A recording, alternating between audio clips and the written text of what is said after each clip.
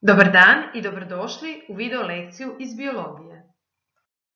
Moje ime je Bojana Davda Sirovina i danas ću vam pomoći da sagledate posljedice nekih ljudskih aktivnosti, odnosno kako čovjek svojim djelovanjem koje dovodi do onečišćenja okoliša može narušiti zdravlje ostalih ljudi pa i vlastito. Nakon ovog video zapisa moći ćete povezati očuvanje okoliša s očuvanjem vlastitoga zdravlja, objasniti na primjerima utjecaj bolesti na populaciji i ljudsko društvo tijekom povijesti, te preispitati utjecaj ljudskih djelatnosti na prirodne procese i mogućnost smanjenja onečišćenja. Molim vas da za današnji sat pripremite bilježnicu i olovku. Tijekom video lekcije obratite pozornost na ove tri ikone. Zaustavite video kako bi zapisali bilješke, razmislili o odgovoru na postavljeno pitanje, te pripazite na vremensko ograničenje za rješavanje tablice u nastavku videa. Za početak u svoje bilježnice skicirajte KVL tablicu, te prvo unutar 3 minute ispunite prvi stupac što znamo o ovoj temi. Nakon toga, u istom vremenskom periodu i drugi stupac što želim znati o ovoj temi. Zadnji stupac ćete na samom kraju e, video lekcije ispunjavati. Pauzirajte video da biste to učinili.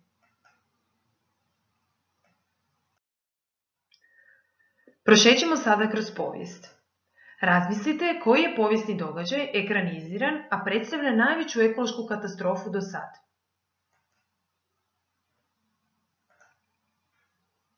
Vjerujem kako ste povezali da je ta ekološka katastrofa Černobilska nesreća koja se dogodila 1986. godine u Ukrajini, koja je nekada bila u sastavu Sovjetskog saveza.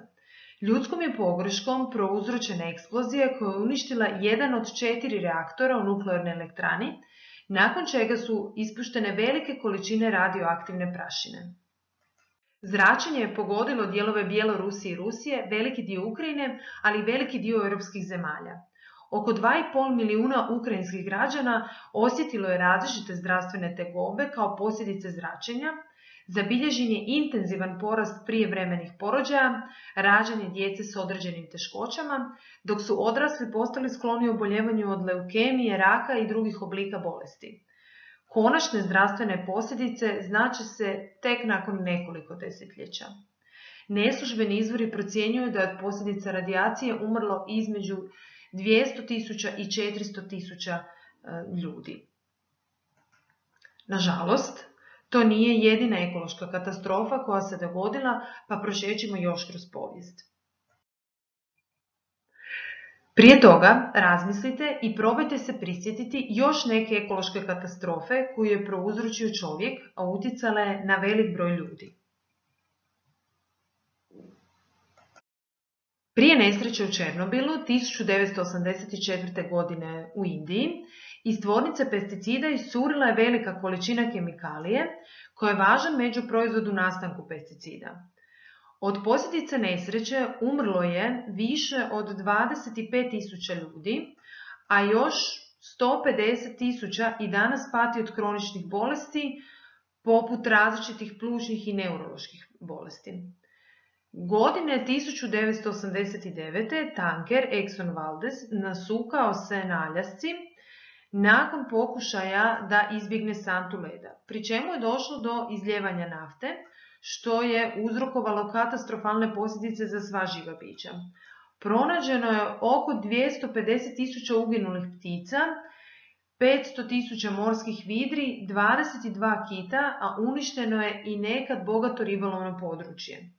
Ekosustav se oporavio tek nakon više od 25 godina. Nakon katastrofe e, ugroženi su bili svi ljudi koji žive u blizini i oni koji su čistili područje, a dugoročno svi koji bilo kako ovise o tom ekosustavu.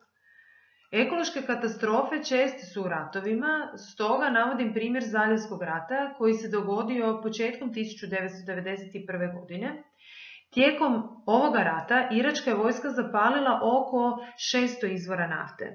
Vatra je gorila 7 mjeseci, a padala je crna kiša. Od posljedica ovoga čina došlo je do porasta malignih oboljenja, a porast srčanih i oboljenja organa za disanje povezuje se s udisanjem dima i toksičnih kemikalija koje su nastajale izgaranjem nafte. Obzirom da se pojam ekološke katastrofe pojavljuje od početka video lekcije, treba objasniti što ona predstavlja. Ekološka katastrofa su iznenadni nagli događaji prouzročeni ljudskom aktivnošću ili prirodnim djelovanjem poput erupcija vulkana koji uzrokuju određenu ekološku štetu. Molim vas sada da pauzirate video i zapišete bilješku.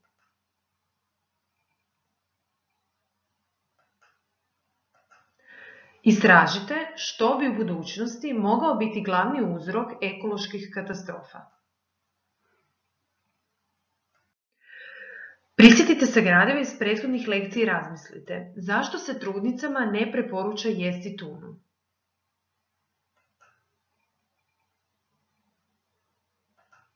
Velika riba, poput tune, u sebi nakuplja velike količine žive, a hranići se njome trudnica je krajnji potrošač. Vjerujem da vam je pojam bioakumulacije poznat već iz prethodnih lekcija. Nažalost, onečišćenja živom nisu tako rijetka pa nisu zaobišla niti našu državu. Na području Republike Hrvatske povećane koncentracije žive zabilježeno su 70. i 80. godina prošloga stoljeća u Kaštelanskom zaljevu. Zbog izravnog ispuštanja otpadnih voda iz tvornice plastike. Na sreću, nije bilo velikih posljedica za stanovništvo, jer ljudi nisu konzumirali puno ribe i školjkaša iz tog područja. Živa uzrokuje nepovratna oštećenja mozga, jetre, bubrega i fetusa u razvoju te izaziva mentalne poremećaje. Trovanja živom nisu rijetkost u svijetu.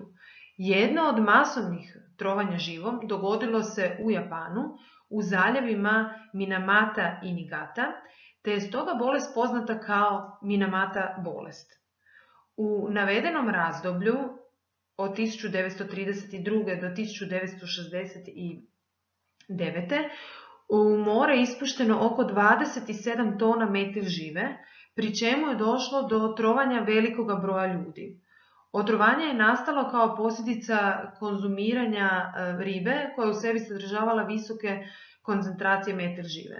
Simptomi ove bolesti su gubitak vida, gubitak osjeta u ekstremitetima, gubitak sluha, gubitak mišićne koordinacije, ravnoteže, poremećaj govora, suženje vidnog e, polja, a došlo je i do rađanja velikog broja djece s različitim oštećenjima, kao što su cerebralna paraliza, e, zaostalost u tjelesnom razvoju, mikrocefalija, autizam, gluhonjemost i sljepoća, mentalne smetnje te e, oštećenja živčanog sustava. Molim vas da sada pauzirate video i napravite bilješke. Razmislite kako biste mogli povezati kontracepciju s današnjom temom. Estrogeni otpadnim vodama dospijevaju okoliš. Teško je odrediti točne izvore estrogena u vodi, ali je vjerojatno da većina estrogena dolazi od stočarstva i poljoprivredne proizvodnje, a manji dio kao posljedica korištenja kontracepcije i hormonske terapije kod žena. Rijeke, jezera pa čak i pitka voda sadrže mjerljive količine tog kemijskog spoja. Strahuje se da unošenje čak i malih količina estrogenskih hormona u organizam može dovesti do poremećaja u hormonalnoj ravnoteži, a time i metabolizmu čovjeka. Istraživanja su pokazala e, da sintetski estrogeni e, koji se koriste kao kontraceptivi imaju više struko jače djelovanje nego prirodni estrogeni. Zbog toga, unatoč činjenici da su kontracepcija i hormonska terapija relativno mali izvor onečišćenja estrogenima, treba biti oprezan i raditi na tom problemu. Osim estrogena, na ljudsko zdravlje utječu pesticidi, lijekovi koje koristimo, te poliklorirani bifenili, kemikalije koje se nalaze u plastici, tekstilu i elektroničkoj opremi. Poliklorirani bifenili zbog visoke toksičnosti zabranjeni su za primjenu, ali se njegovi ostaci još zadržavaju starim materijalima i prenose vodom, zrakom i hranom. Poliklorirani bifenili mogu uzrokovati razne negativne učinke na zdravlje, mogu uzrokovati karcinome kada su prisutni u većim koncentracijama, te mogu utjecati na imunitet, reproduktivne organe, živčani sustav, endokrini sustav i ostale organe. Nedavno smo svjedočili loše kvaliteti zraka u većim dijelovima Hrvatske koje je bilo uzrokovano lebdećim česticama pustinskog pijeska. Najčešći izvori lebdećih čestica su industrija, promet, građevinski radovi i šumski požari. Štetan utjecaj lebdećih čestica na zdravlje ljudi ovisi o kemijskom sastavu i o veličini čestica. One povećavaju mogućnost pojave asme, raka pluća, bolesti srca i krvnih žila. Zadnji, ali ne manje važan zdravstveni problem je rak kože. Zbog nastanka ozonskih rupa pojačano je UV zračenje i rizik od pojave raka kože u ljudi. Neka istraživanja su pokazala da u obzir treba uzeti druge čimbenike kao što su onečišćenje zraka, ali i globalno zagrijavanje. Najviše je ugrožena populacija ljudi svijetle kože, pogotovo oni koji su tijekom zadnjih par stoljeća migrirali na prostore s puno više sunčanih dana i višim temperaturama, prvenstveno Australiju, Novi Zeland i Južnu Afriku.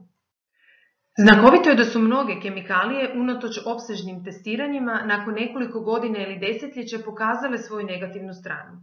Stoga vas molim, Razmislite o važnosti etičnosti i odgovornosti znanstvenika i poduzetnika u provođenju mjera sigurnosti tijekom istraživanja i primjene znanstvenih dostignuća.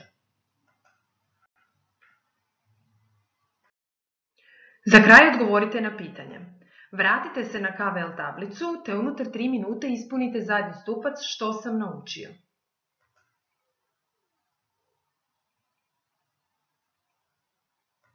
Drugo pitanje. Na stolu ispred vas nalaze se tri tanjura s ukusno pripremljenim ribljim obrocima. Na prvom tanjuru je tuna odrezak, na drugom srdela, a na trećem filet morskog psa. Koji riblji ručak bi odabrali? Obrazložite svoj odgovor. Slijedi treće pitanje. Razmislite može li kuhanje hrane tretirane pesticidima utjecati na vaše zdravlje. Obrazložite odgovor. Hvala vam što ste učili sa mnom. Nadam se da vam je bilo zanimljivo i da ste naučili nešto novo. Lijepi pozdrav!